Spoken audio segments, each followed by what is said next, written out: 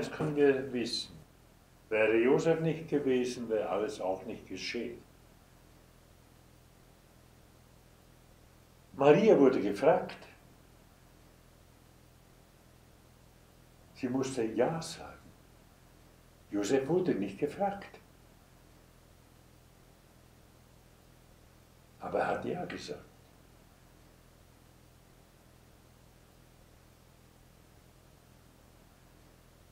Ich kann euch nur anraten,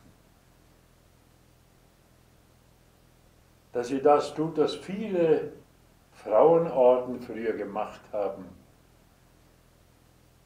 zum heiligen Josef zu gehen. Jeder Heilige hat manchmal so gewisse Dinge, über das er beinahe ein Recht hat zu helfen. Wir kennen den, der für Verlorenes ist, der andere für dies und jenes, so fürs Heiraten und irgendwas. Aber Josef, weil er der gesetzesmäßige Vater war und er so still war, so bescheiden, so hat Gottes gefallen, ihm die ganze als Allround-Heilige.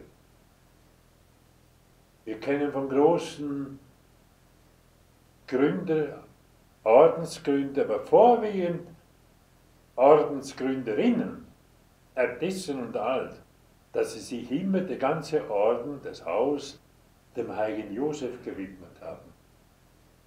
Und es sind unzählige Wunder geschehen. Und dass er sogar persönlich gekommen ist, zum Beispiel eine Treppe irgendwo machen, wo kein Architekt, niemand wusste, was kann man das machen. Dann kam, da haben sie zum heiligen Josef inbrünstig gefleht und irgendwann kam mal so ein Mann, komischerweise war er noch in alter Tracht. Sie haben es nicht gemerkt, wer er ist. Er hat ihnen die Stiege gemacht, die ist heute noch vorhanden. Eine Wendeltreppe ohne einen Nagel. Heute gehen noch berühmte Architekten dahin und bewundern es und können es nicht fassen. Als man wollte ihm bedanken, äh, bei ihm bedanken, war er nicht mehr da. Erst da hat man gemerkt, wo man mal sein altes Bild sah, das ist doch der gewesen. Weil ich sage, Maria ist schon mit Leib und Seele in den Himmel aufgenommen worden, so wie Jesus. Der Sohn Gottes wollte seine Mutter so haben, wie er sie auf Erden nur verklärt. Und dann hat er in der Erde noch einen Vater gehabt. Ja, ja, Josef, ein Königer, vom königlichen Stammbaum. Und welcher Geburtsraum hatte er da? Eine Krippe, ein Stall. Da hätte man auch sagen können, ja, ist das noch möglich, dass Christus ist, wenn es so kommt?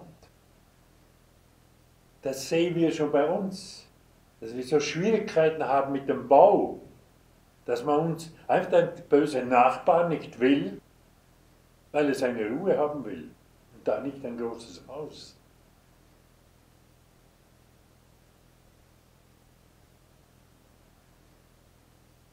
Weil es dem bösen Nachbar nicht gef äh, gefällt.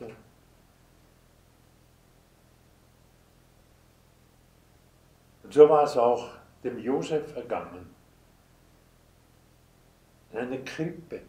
Bei uns sagt man auch, ja, ist es tatsächlich, ist Gott überhaupt noch mit ihm, dass es so, dass es so schlecht geht? Hätte Josef und Maria auch sagen können. Oder immer ihnen sagen können, ja, wo ist denn euer Gott jetzt? Damit hatte sie an sich gezogen. Wenn, wenn man Gott nur Liebes, Liebes gibt, ja, das ist so schön, äh, und das gibt keine Muskeln. fleischliche Muskeln, Eiweiß, all das. Das bekomme ich nicht, indem ich das Büchlein immer so mache. Da muss ich Schweres nehmen. Mit der Zeit immer schwerer, dann kommt der Muskel. Aber wir haben auch geistige Muskeln. Und die können nicht kommen, wenn man nur so, also wenn eine Uriella da so durchgeht. Sondern auch nur, wenn man oft schwer muss und fast Menschen Unmögliches geht, das gibt die Muskeln. Vielleicht sagen viele, ja, das ist schon gerade ein bisschen viel für jetzt. Ja, wisst ihr warum?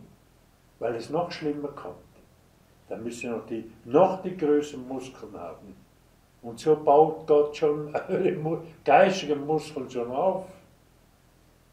Ihr müsst euch frohlocken. Immer wieder auch im YouTube und überall äh, sehe ich manchmal, dass man sagt, was man alles Gutes getan hat. Meine Lieben, gute Werke sollte man nicht erzählen, ansonsten ist von Gott ein Wert verliert. Ebenso umgekehrt. Schweres Ertragen sollte man stille Gott schenken und nicht da und dort oder überall erzählen oder jammern, ansonsten es auch vor Gott an Wert verliert. Bei mir könnt ihr kommen und klagen. Gott macht es ja auch bei mir. Ich sehe es noch viel lieber, wenn die Menschen lachen können und dürfen. Das andere kommt von selbst. Wir haben doch eine frohe Botschaft.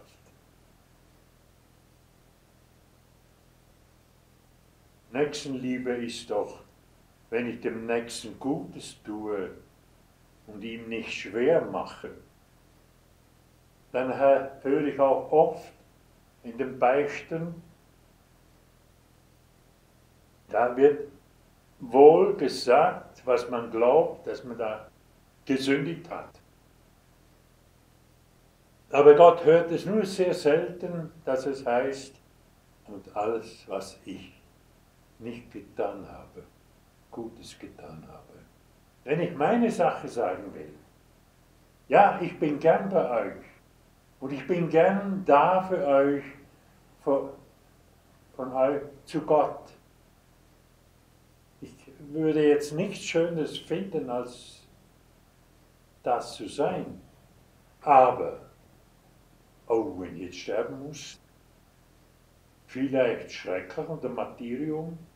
Uh, nein, ich bin sehr, ich habe gar nicht gern Schmerzen. Ich trage sie zwar immer, aber, aber äh,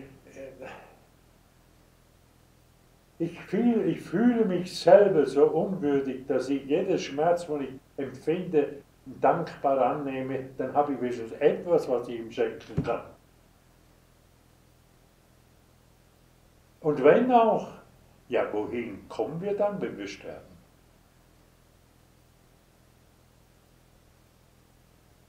Da du dir eigentlich wolltest, sofern du auch zugelegt hast. Warum haben wir Angst vor dem Sterben? Es ist das Unfassbare. Ich habe euch schon gesagt, wenn jemand zum Beispiel einen, großen Wunsch hat und der wird ihm endlich erfüllt, dann ist er überaus glücklich. Geht nicht lang, ist vielleicht beim Mann ein tolles Auto, hm? weiß Gott was für ein Ferrari oder Porsche oder eigentlich haben wir das Geld beisammen und kauft, ja herrlich. Hm? Der weiß nicht mehr, dass er noch eine Frau zu Hause hat oder, oder Kinder. Aber meine Lieben, dann plötzlich kommt wieder ganz neues Auto heraus, ein neuer, viel besser, noch besser. Und schon ist die Freude dahin, ja, das, das wäre es natürlich jetzt.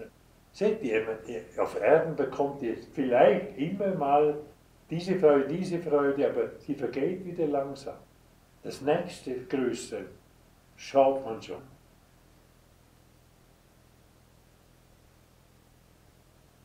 Was ist denn im Himmel? Wie geht denn das im Himmel? Wir sollten da also nicht nur einfach 100 Jahre lang glücklich sein, sondern ewig, ohne Unterbruch. Das heißt, Milliarden, Milliarden, Milliarden, Milliarden Jahre, nein, das ist doch nicht mal ein Pünktchen von der Ewigkeit. Immer, ohne Unterlass. Die, die Freude ist immer vollkommen. All die Dinge. Denn Gott kann man nicht aus, wie sage ich denn, er ist unerschöpflich. Wir werden ewig aus ihm immer Neues sehen. Er ist immer am Werden. Das ist ewig. Immer jetzt. Es gibt kein Gestern, es gibt kein Morgen. Immer das Jetzt ist das Jetzt. Und Gott ist der Himmel. Denn Gott, mir hat man, ich weiß, es gibt da so Nahtoderfahrungen. Ja bitte, Nahtoderfahrung ist nicht eine Entrückung. Kann man nicht als so Ding. Entrückung ist jemand, der nicht aus Krankheit oder weil das Organ mal äh, nicht mehr mitarbeitet oder was, vielleicht für kurze Zeit oder was. Entrückung ist wie zum Beispiel Apostel Paulus. Wenn man gesund ist, da alles und plötzlich wird man einfach entrückt vor Gott. Dann fragt man mich, ja, wie hat es ausgesehen, dein Himmel, was hast du noch gesehen?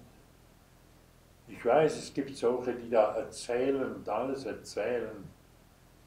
Ich kann euch ehrlich sagen, wo man mich das gefragt hat, habe ich gesagt, meinst du, dass ich mich noch umschaue, wenn ich vor Gott stehe? Das ist der Himmel. Das ist die Fülle, das,